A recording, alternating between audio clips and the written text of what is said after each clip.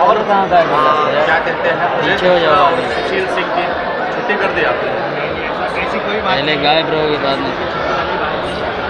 आज भाई बहुत आर्टिस्ट काफ़ी मेहनत की आपने रोल में और कितना मेहनत करना पड़ा आपको इन दोनों के डिस्कशन हुआ कि भाई क्या लुक होगा कैसे आपका प्रेजेंटेशन होगा उनके भी अपने इंटरेस्ट थे कुछ हमारे इंटरेस्ट थे और फिर एक नई नया look।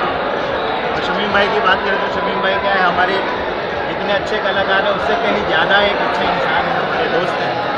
और ये श्रेय जाता है इनको कि भाई के सहयोग से करने के लिए आपको श्रेय दे रहे हैं फ़िल्म पूरी होने के क्या ये इनका बड़ापन है एक सुलझे हुए डायरेक्टर है। और बहुत बेहतरीन मैंने अभी इससे पहले इंटरव्यू में भी कहा मैं मीडिया को धन्यवाद देना चाहता हूँ इतनी सारी मीडिया आई और इतना सारा कवरेज किया। हम जैसे छोटे कलाकार को भी इतना ही मान मिल रहा है। लेकिन मैं जहाँ तक डायरेक्टर की बात करूँगा डायरेक्टर ने एक बड़ी फ़िल्म बनाने की पूरी ज़िम्मेदारी जो दी गई थी, उसे पूरा किया है। तो वो भी प्रोड्यूसर ने कहा था। हमारे जो प्रोड्यूसर वसीम खान हैं, उनकी सोच बहुत बड़ी है। जैसा कि शायद आप देख रहे होंगे, यहाँ पार्टी जो रखी है, चाहते तो छोटे एक छोटी सी पार्टी रखे और कम खर्चे में ये म्यूज़िक लॉन्च कर देते। और जैसा उन्होंने नहीं किया।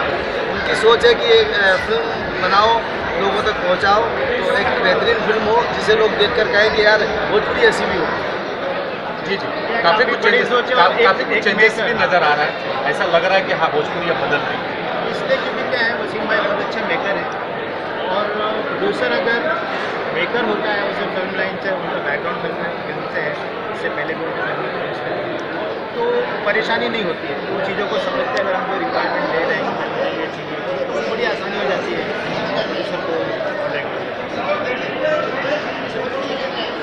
सर आप लोग या या या आप मान रहे हैं कि हाँ भोजपुरी बदल रही है क्या लग रहा है जी आपका सवाल अच्छा है।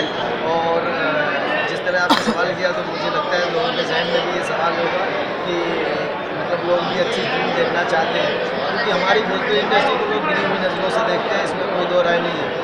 इसमें कहने में मुझे हर्ज नहीं होना चाहिए कि उम्रपन ज़्यादा होता है कि साथ फ़िल्में नहीं देख सकते, फैमिली के साथ फ़िल्म नहीं देख सकते। लेकिन मुकद्दर एक ऐसी फ़िल्म है, मैं बोलते हैं कि मैंने एक्टिंग की है या मैं उसमें रोल कर रहा हूँ, इसलिए मैं तारीफ़ कर रहा हूँ। मैं मीडिया के माध्यम से बात कहना चाहता हूँ कि मुकद्दर एक ऐसी फ़िल्म है कि जिसे लोग देख कर कहेंगे कि ये फ़िल्म यार ये इंडस्ट्री भी आगे जाएगी। तो ऐसे में मैं देख रहा था तो मुन्ना भाई का जो कैरेक्टर है, वो मुझे लोटिया पठान का याद दिला रहा था। क्या कुछ कहना चाहेंगे? कितनी तैयारी की थी आपने इस कैरेक्टर करने जी, मुझे जैसा डायरेक्टर प्रोड्यूसर ने कहा कि ये फ़िल्म में दो हीरो की कहानी है। एक तो हमारे सुपरस्टार खेसारी लाल यादव और दूसरे सपोर्टिंग में मैं हूँ। तो मुझे जो कैरेक्टर बताया गया, मैंने कोशिश की है उस कैरेक्टर को जीने की। बाकी आप लोग के हाथ में है कि क्या रिज़ल्ट आता है? क्या कहना चाहिए दर्शकों से ये कहना चाहूँगा मैं शमीम खान कि आज मेरा ट्रेलर लॉन्च हुआ है फ़िल्म मुकद्दर का। तो जितनी ज़्यादा से ज़्यादा लोग देखेंगे इस मुकद्दर के ट्रेलर को लाइक करेंगे अप्रिशिएट देंगे मुझे खुशी होगी। मैं अपने दर्शकों से यही दो शब्द कह चलते चलते दर्शकों से ये भी बता दीजिए कि काजल राघवानी किसके मुकद्दर में आती है?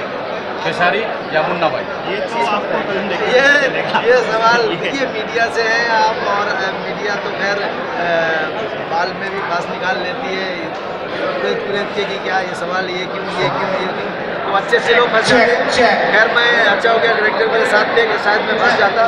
लेकिन अब मैं हैं, सा। ये ये मैं दर्शकों पर छोड़ूँगा कि किसके मुकद्दर में लेकिन ये ज़रूर कहना चाहूँगा कि जैसा मैंने हेलो। पहले भी कहा था कि बनाने वाले अरे ने भाइयों बनाने वाले कभी ना की लोग हैं पर किस कुछ लोग मिला ये मुकद्दर की बात। दिखाने के बाद आए हैं।